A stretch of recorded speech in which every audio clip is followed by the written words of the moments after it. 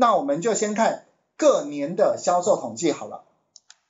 各年销售统计，我们是不是要点点回来这边来去画这张图？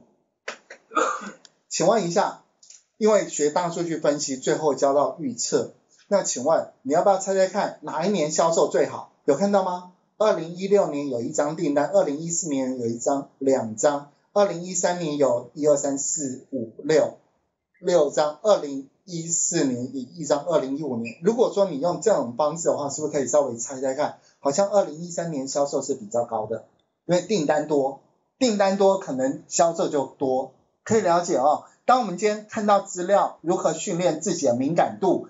第一件事你就先猜，先猜猜看你看到的资料。然后接下来，接下来，然后我们去求证对还是不对，然后再做另另外一种分析的手法来做验证。那我们先看第一件事情，各年的销售。首先，正正确的一个教法就是在空白地方点一下，然后这边是不是有很多很多种视觉化报表？最容易让人看懂的就是直条图，所以我点直条图。群主直条图，然后接下来我要算各年的销售，各年的销售，请问各年这个年是不是跟日期有关系？你你不可能点那个子类别，不可能点地区，而会点销，而会点而会点订单日期。那为什么不点发货日期？通常我们在计算的时候，看你切分。的时间点，如果我今天我们以拿到订单的那个日期来当做是呃计算的依据，好，你要特别先交代一下。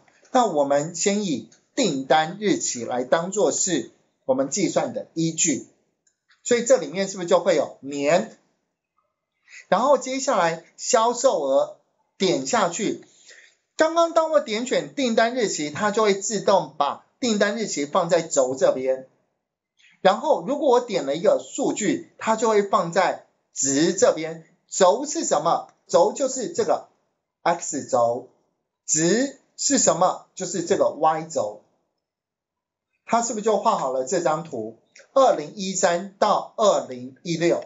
那请问你这以下是不是也做得到？对吧？这我绝对同意，绝对同意。但是后面的分析才是重点。我们先来观看一下这张图。这张图应该还记得住哦。一空白地方点一下，二点选它，三订单日期打勾，四销售日期打勾，就画好这张图了。然后我希望为了方便我们上课观看，所以我把这个部分字啊放大一点。怎么放大呢？不是在栏位设定哦，是在格式，这个是格式。格式里面 x 轴，请把字稍微放大一点，然后，哎，字的颜色，字的颜色我把它设成黑色好了，这样字是不是就比较深了？接下来 y 轴，y 轴，然后一样字的颜色，好，所以麻烦请你们先简单的做到这个地方，来，麻烦请把二零一三。到二零一六年的销售额算出来。